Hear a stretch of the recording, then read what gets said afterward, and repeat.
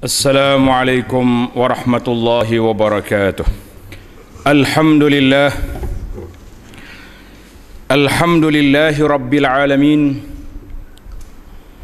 الحمد لله القائل وابتغي فيما آتاك الله الدار الآخرة ولا تنس نصيبك من الدنيا وأحسن كما أحسن الله إليك.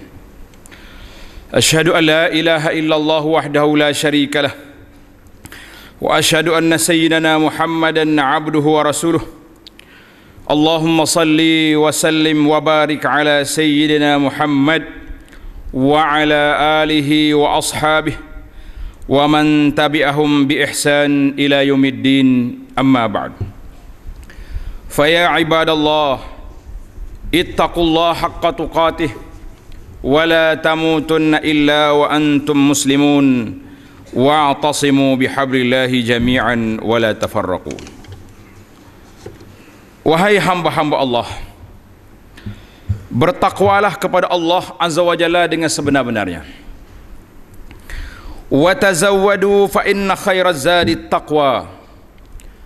Berbekallah karena sebaik-baik bekalan itu iaitu takwa kepada Allah Azza wa Jalla.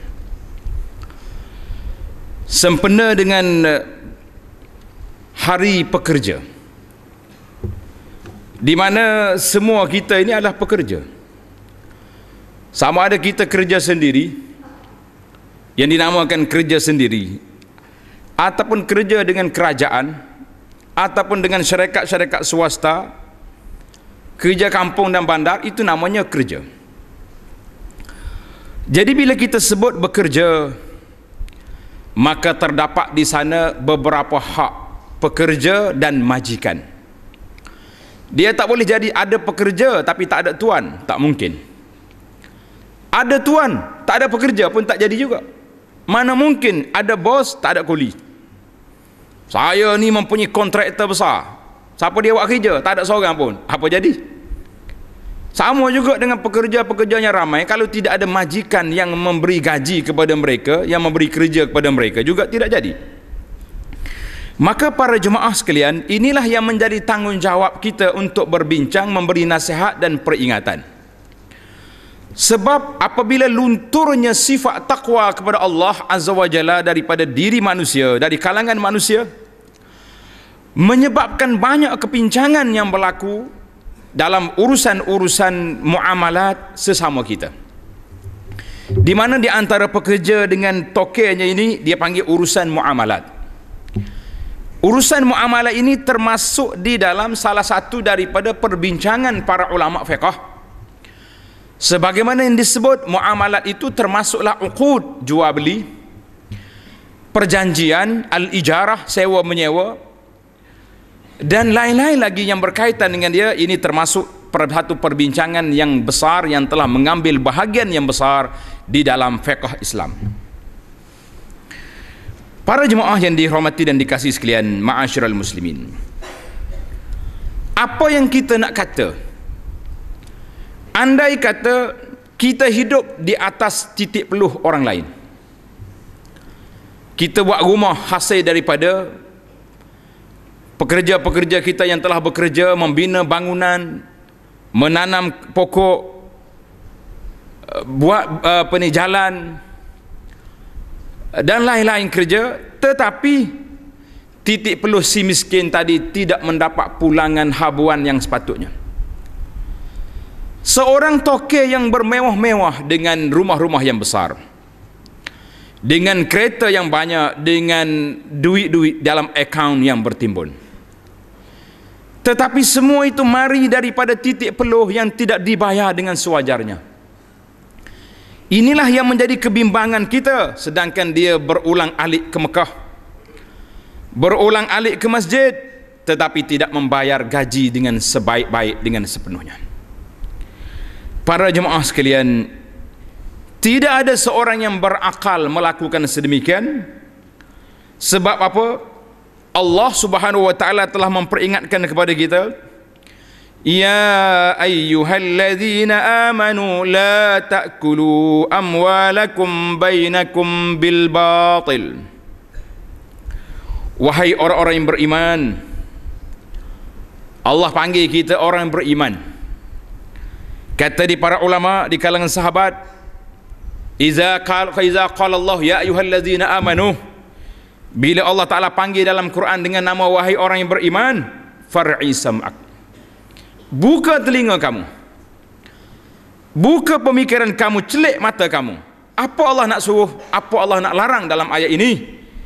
Maka di sini telah disebut la ta'kulu amwalakum bainakum bil batil. Jangan sekali-kali kamu makan harta kamu sesama kamu dengan cara yang tidak betul. Al batil. Surah an-nisa ayat 29 bagaimana kita orang yang beriman sebagaimana Allah Taala panggil kita ya ayyuhalladzina amanu. Orang beriman tapi makan benda yang batil. Benda yang batil ni banyak tuan-tuan. Kalau kita nak senarai panjang contoh boleh disebut. Yang pertama makan riba. Orang duduk atas masjid kepiah cotik atas kepala tapi pergi ambil duit pinjaman dengan bank riba. Berat. Orang yang ada kepiah atas kepala ada nama beriman di hadapannya tetapi masih lagi mengamalkan rasuah untuk mendapat tender, untuk mendapat projek dan sebagainya. Sama juga si penerima rasuah itu pun apa kurangnya? Mungkin dengan duit rasuah dia pergi umrah. Bawa anak beranak Oh saya puas hati Sebab dapat sumbangan daripada kontraktor sekian-sekian hantar saya pergi umrah Haram itu makan Orang tak bagi sumbangan kalau awak tidak ada jawatan dan tidak ada kepentingan awam Kita telah bincang tajuk ini Di bawah beberapa siri uh, Siri-siri tentang rasuah Harta haram dan sebagainya. Dan harta yang haram juga disebut di sini iaitulah apabila kita suruh orang buat kerja kita tak bayar ataupun kerja yang kita klaim itu tidak sebagaimana yang kita buat. Para jemaah sekalian kalau kita nak kata di mana ke akhlak Islam jawabnya akhlak Islam sangat jelas. Kita telah belajar akhlak daripada kecil sampai hari ini. Tapi kalau kita minta tuan-tuan beramallah berakhlaklah dengan akhlak orang Melayu yang sopan santun. Pun fail gagal.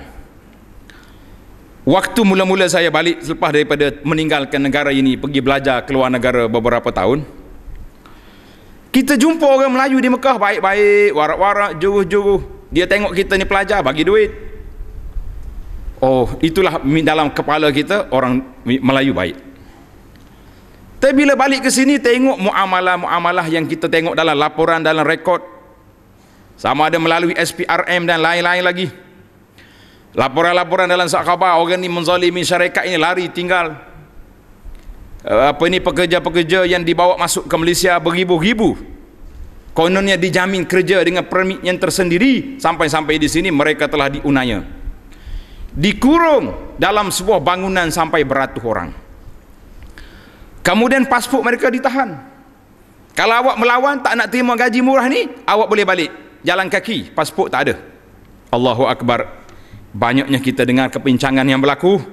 Di sana tuan-tuan jangan lupa Allah SWT telah berfirman wala tahsabanna Allah ghafilan amma ya'malu zalimun. Jangan kamu sangka Allah lupa tentang apa yang dibuat oleh orang-orang yang zalim. Innama yuakhiruhum liyaumin tashkhasu fil absar.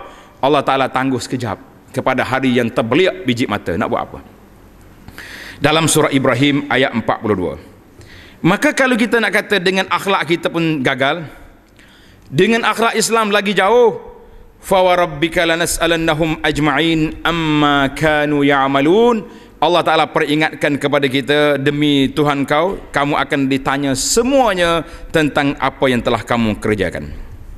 Maka kita lihat apabila ada majikan yang menindas pekerja-pekerja sedemikian rupa dibawa pekerja masuk daripada luar tapi sampai di sini tidak diberi kerja bahkan ada yang disebut dengan nama pemerdagangan manusia. Mereka manusia ada di kalangan mereka orang-orang Islam yang baik yang beriman. Sebahagian daripada mereka telah divairalkan duduk dalam penjara ditangkap kerana tidak ada permit. Tapi dia baca Quran sedak kalah imam-imam di kampung kita hidup ngaji tajwid. Bermakna kita telah menzalimi dua dimensi manusia. Satu manusia Yang kedua, mukmin, orang yang beriman kepada Allah Azza wa Jalla bermakna kita telah buat buat dua kejenayah di atas satu masa. Maka di sinilah kata Nabi sallallahu alaihi wasallam dalam hadis yang diriwayatkan oleh Abdullah bin Amru, "Ar-rahimun yarhamuhumur rahman." Orang yang bersifat rahmat itu dikesiangi, dirahmati oleh Tuhan Ar-Rahman. Irhamu man fil ardi yarhamukum man fis sama' kamu bersikap belah kasihan kepada mereka yang di bumi nascaya kamu mendapat belas kasihan daripada golongan yang berada di langit. Allahu akbar. Hadis ini riwayat oleh Imam At-Tirmizi. Maka apabila kita mempunyai pekerja-pekerja pegawai-pegawai orang-orang yang di bawah jagaan kita maka bertanggungjawablah kita dengan Allah Azza wa Jalla terhadap perkara yang tersebut. Inilah yang dikatakan apabila takwa sudah luntur daripada hati manusia apabila iman hanya berada pada nama kita tetapi tidak meresap masuk ke dalam hati maka ketika itu kita merasakan kita berhak buat apa saja. Orang yang datang ke sini sebagai pendatang mereka boleh disuwenang-wenangkan boleh dibuat apa saja yang mereka nak maka disitulah yang kita mengatakan suatu perkara yang cukup berat yang cukup buruk untuk diambil perhatian. Para jemaah sekalian di antara keburukan yang dibuat iaitulah bagi pihak pekerja-pekerja. Sebab itu kita mengatakan dua dimensi perlu dibincang yang pertama kita kena jaga hak pekerja. Bila kita ambil mereka, kita jangan sekali-kali beri mereka kerja lebih daripada yang sepatut. Itu satu. Yang kedua, jangan sekali-kali kita menzalimi mereka. Suruh buat kerja, kemudian tak bagi gaji. Ada pekerja-pekerja yang datang. Maklumkan kepada imam, kepada ustaz, pendakwah. Dia kata ustaz boleh tak nasihat kepada orang fulan-fulan kata kenapa?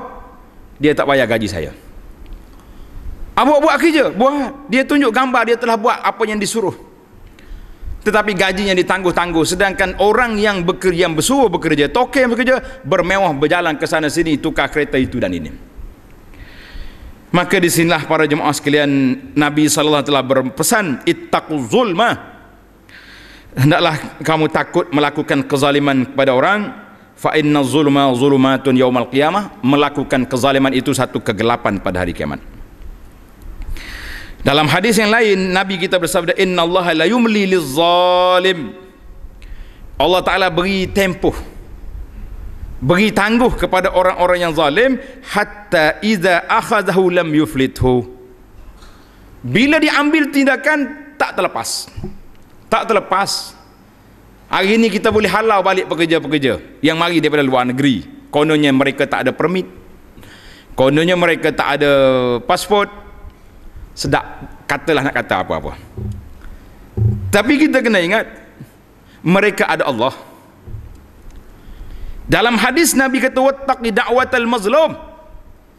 Takutilah doa orang yang dizalimi fa innahu laisa bainaha wa bainallahi hijab tidak ada sekatan dinding di antara dia dengan Allah Azza wa Jalla sehingga dikatakan walaupun pekerja itu bukan Islam.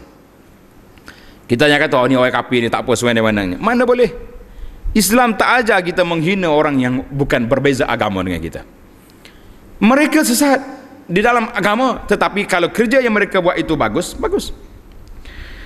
Dalam hadis Nabi wasallam bersabda utul ajira ajrahu berilah kepada pekerja-pekerja itu upahnya qabla an yajifa araquhu sebelum kering peluhnya.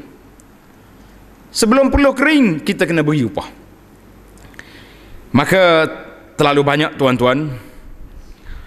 Di dalam perkara-perkara sedemikian ini yang kita nampak berlakunya kelonggaran. Longgar di dalam kerja buat kita dengan orang-orang yang di bawah kita itu dimensi yang pertama. Yang kedua, iaitulah bagi pihak majikan, bagi pihak pekerja, kontraktor, pegawai-pegawai yang duduk sebagai pegawai. apa yang patut kita buat yang pertama sekali kita kena ikut patuh kepada perjanjian yang kita buat waktu kita nak minta kerja kita janji apa dulu kita janji apa janji nak buat bangunan contohnya. Kita buat rumah dia punya keluasan berapa ribu kaki berapa bilik dia punya material barang-barang dia daripada jenis apa atap jenis apa maka itu dia panggil janji. Maka apabila tengok-tengok rumah siap tengok Masya Allah Tabarakallah. Macamlah dia pelah dinding dengan kaki bukan pelah dengan tangan. Belok sana sini sebab kita mencari pekerja-pekerja yang tidak mahir yang tidak sepatutnya buat kerja ini maka telah menimbulkan tidak puas hati daripada pihak yang menyuruh kita bekerja satu. Ataupun satu lagi yang menjadi masalah kepada kita iaitulah barang-barang yang digunakan tidak mengikut tahap yang dijanjikan. Semin terlalu sedikit ataupun dia panggil semin yang ready made dia ada saiz dia berapa jenis berapa kategori tapi kita bagi isi yang tak baik. Maka ini adalah merupakan al-aqlu bil amwali nas bil batil termasuk di dalam memakan harta orang dengan cara yang tak betul. Sebab kita tidak menjadi seorang yang jujur dengan kerja buat kita maka ini satu benda yang masalah. Dalam hadis yang diriwayatkan oleh Imam Al-Bukhari rahimahullahu taala daripada Sayyidina Abi Hurairah radhiyallahu anhu anin Nabi sallallahu alaihi wasallam qala Qala Allah Ta'ala Nabi kita bersabda Allah Ta'ala berfirman.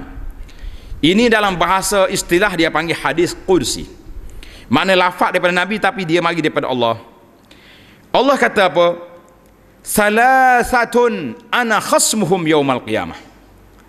Tiga golongan ini aku akan dakwa mereka pada hari kiamat. Siapa nak dakwa? Allah nak dakwa sendiri tak main lagi pendakwa-pendakwa raya ni tak pakai. Allah Ta'ala akan dakwa nas'alullah salamata wal afiyah. Kita minta selamatlah dengan Allah Ta'ala daripada terkena tiga golongan ini. Wal iyazubillah tuan-tuan tanda. Yang pertama rajulun a'tabi summa ghadar. Yang pertama Allah orang yang buat perjanjian dengan Allah kemudian dia tipu. Hari ini banyak kita tengok orang yang sanggup bersumpah dengan nama Allah lepas tu tak tunai janji ini satu masalah buat janji tak tunai warajulun ba'a hurran fa'akala sanaman samanahu orang yang jual orang merdeka kemudian dia makan harga Orang merdeka tak boleh jual, yang boleh dijualnya hamba. Tapi hari ini manusia yang merdeka dijual juga oleh orang. Dia ambil dia panggil pemerdagangan manusia. Nah, dia ada jual. Ini termasuk di dalam isu ni. Seolah-olah kita ambil orang ini kemudian kita jual kepada sedikit lain untuk diperkotak-katikkan. Sama ada dalam bidang pekerjaan termasuk juga dalam bidang-bidang maksiat. Apa yang kita dapat kesan daripada maklumat-maklumat mengatakan termasuklah rumah-rumah haram yang disebut rumah-rumah pelacuran, rumah-rumah apa yang semua ni termasuk pemerdagangan manusia mereka tangkap orang-orang ni kemudian dibawa ke sini dijual kepada bapak-bapak orang kata bapak ayam saya kata bapak eh, ayam ni orang baik. Benda yang kita boleh makan nak kata bapak apa tak tahulah. Tua-tua kata sendirilah tak. Ini bukan bapak ayam. Jadi ini dipanggil pemerdagangan manusia termasuk dalam perbuatan ini. Yang ketiga warajulun istajara ajiran fastaufa minhu walam yu'tihi ajrahu. Orang yang uh, istajara ajir, upah orang buat kerja. Kemudian orang tu buat kerja penuh. Siap dah awak punya rumah, awak punya bangunan, awak punya uh, kebun sudah sempurna. Dia tak bagi. Oh, tak apalah semula-semula akhir sekali tak bayar. Jadi hadis ini dalam Bukhari. Para jemaah sekalian, dalam hadis yang tadi Nabi sebut qabla an yajifa araquhu. Beri upah sebelum kering peluh bermakna cepat bayar. Ikut perjanjian lah kalau kita nak bayar ikut progres dalam bahasa sekarang. Siap 5% bayar 5%, 10 bayar 10, itu pun satu perjanjian. Ataupun kita gaji hari, setiap hari awak mari ambil RM20, RM50. Ataupun setiap minggu itu diikut perjanjian. Pentingnya ada perjanjian di antara pekerja dengan dengan majikan di antara kontraktor dengan tuan rumah. Ini yang saya rasa perlu kepada tuan-tuan ambil perhatian. Ini nasihat umum kepada kita semua sebagai pekerja dan juga sebagai majikan. Di antara perkara yang kita rasa suatu fenomena yang perlu diubah. Iaitulah apabila berjanji tak apa nak tunai. Uh, awak boleh tak buat sekian-sekian bangunan? Oh boleh, boleh. Kita akan buat. Lepas tu dia mari dua hari pas dia hilang, seminggu mari pula. Tuan rumah ni puas tunggu bila lah nak siap. Nak basuh rumah pun tak boleh, nak nak siap kawasan pun tembok barang-barang dia dengan semi-semi dia bertambur kat sini. Pasal kontraktor pekerja-pekerja bermain. Saya nasihatkanlah kepada kita semua muslimin dan juga muslimat. Ingatlah di antara yang sangat ditekan dalam Islam ini as-sadiq iaitulah orang yang benar biarlah kita berterus terang kalau kita rasa saya tak boleh buat bangunan ni sebab saya masih lagi terikat dengan satu bangunan lain. Bangunan ni lebih kurang siap dua bulan lagi. Ya, kalau awak tak sanggup tunggu dua bulan saya mari sudah itu saya mari buat ni. Berterus terang. Oh dia tak apa saya cari orang lain. Tak apa bukan rezeki saya. Yang jadi masalahnya kita tamak nak kau belaka asal kau orang suruh buat sanggup-sanggup sampai 10 tempat akhir sekali bagi sini dua hari sini dua hari sini dua orang dua bulan semua tak siap belaka duit setiap minggu boleh kutip belaka. Ini permainan-permainan yang dibuat oleh sebahagian manusia yang kita nampak kepincangan dan hilang berkat. Kita kena ingat dalam hidup atas dunia ni biarlah kita ada barakah fil, fil mal berkat dalam harta benda berkat dalam anak pinak kita berkat dalam kehidupan. Sebab apabila kita mendapat berkat harta kata di para ulama tanda-tanda keberkatan harta itu sedikit tapi kita rasa cukup kalau lebih boleh diagih-agihkan, dibagi-bagikan kepada orang. Itu dipanggil tanda berkat. Ini yang kita bimbang, lagi banyak lagi tamak, lagi tak cukup, lagi ini satu perkara yang yang cukup uh, menakutkan kita para jemaah sekalian sebab inilah realiti kehidupan kerana kita terlalu tamak nak segala itu segala ni akhir sekali kita tidak buat benda yang kita patut. Itu yang pertama, jangan tamak. Telus dalam kerja buat. Yang kedua, mura'atul khibrah. Mengambil kira kepakaran. Orang suruh kita buat bangunan semin contohnya. Bangunan dengan batu. Kita pandai tukang kayu. Minta maaf. Saya tak pandai semin saya pandai batu. Ataupun sebaliknya saya tak pandai kayu saya pandai jadi kenapa kita tak berat tak boleh nak mengakui kelemahan tapi kita nak kau semua menyebabkan berlakulah kepincangan-kepincangan dalam dunia hari ini kita tengok runtuh sana sini. Kalau tak runtuh bangunan runtuh akhlak runtuh perjanjian runtuh moral kita dengan Allah Azza wa Jalla. Sidang jemaah yang dihormati sekalian ittaqullah haqqa tuqatih. Bertakwalah kita kepada Allah Azza wa Jalla dengan sebenar-benarnya. Sebagai pekerja hendaklah kita bertakwa yang pertama melaksanakan hak Allah Subhanahu Wa Taala. Mentakah kita kerja kak, pakai tak sempat nak solat, tak ada nak semaya, tak ada nak berapa. Tak boleh ni. Kelang kabut ni lorak takut tak siap lah. Tuan-tuan kena ingat. Tak siap hari ni kita sambung esok.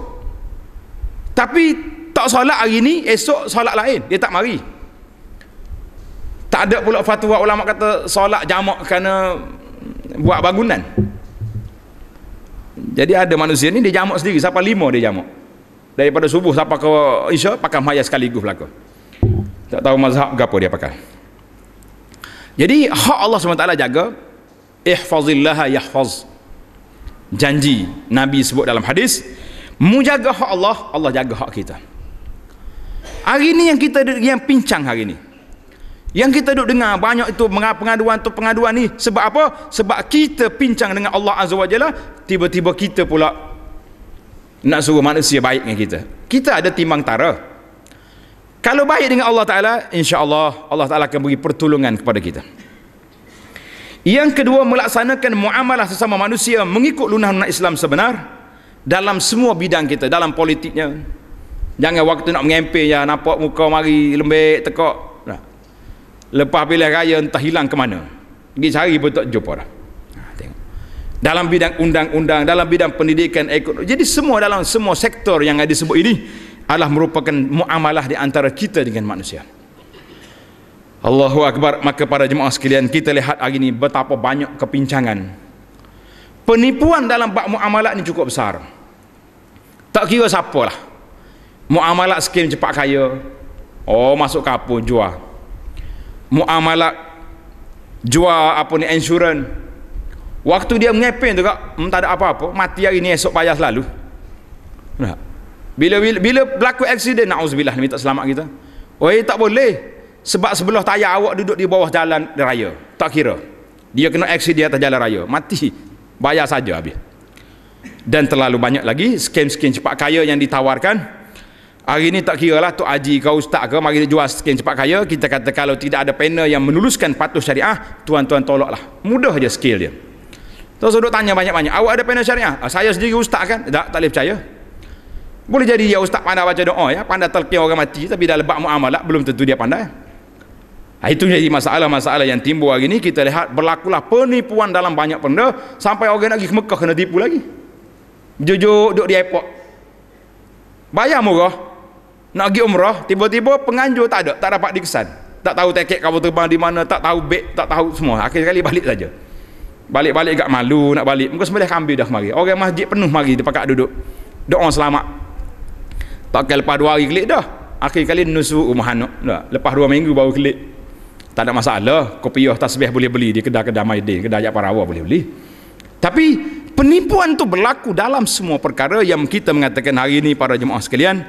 Berhati-hatilah daripada skim-skim cepat kaya dan segala benda yang ada supaya kita tidak terjebak dengan golongan-golongan yang sini kerana menzalimi orang satu benda yang tak baik dizalimi oleh orang juga tidak satu benda yang tak baik dan kita berhati-hatilah daripada menzalimi ataupun dizalimi.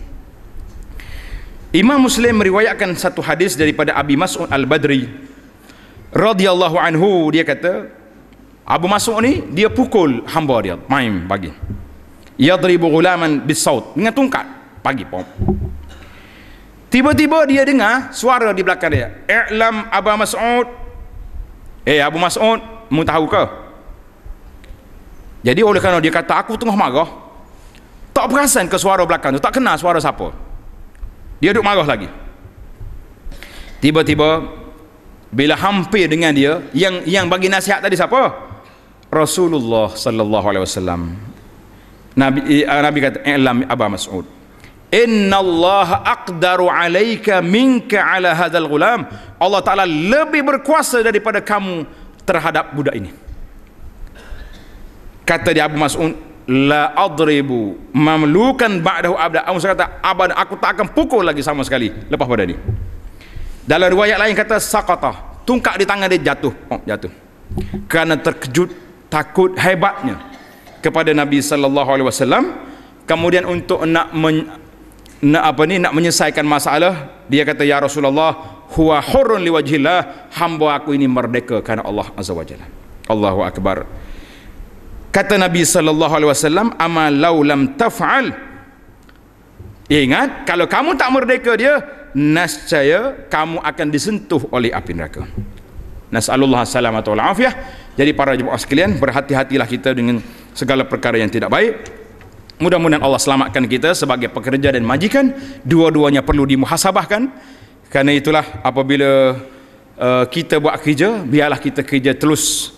Kita fikir siang dan malam aku ni selamat tak selamat. Di di akhirat nanti insyaallah taala pada hari Jumaat dan hari-hari yang lain banyaklah selawat kata Nabi sallallahu alaihi wasallam kerana perintah Allah dalam Al-Quran. Innallaha wa malaikatahu yusalluna 'alan nabiy ya ayyuhalladzina amanu sallu alaihi wa sallimu taslima